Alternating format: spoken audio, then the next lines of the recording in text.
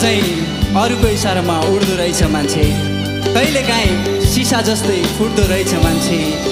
नाम दामको लोभले अरूसँग प्रतिस्पर्धा गर्दा गर्दै थाहै नपाई आफैसँग छुट्दो रहेछ मान्छे। थाहै नपाई आफैसँग छुट्दो रहेछ मान्छे।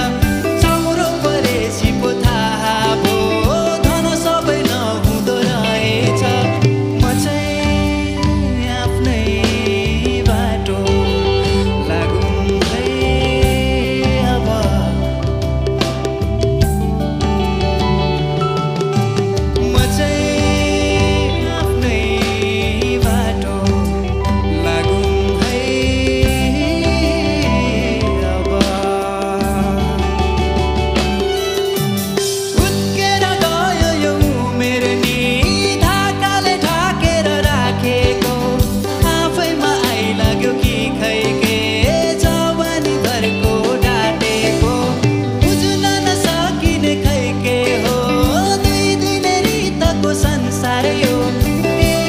हिजोमै खेर गएको। आज म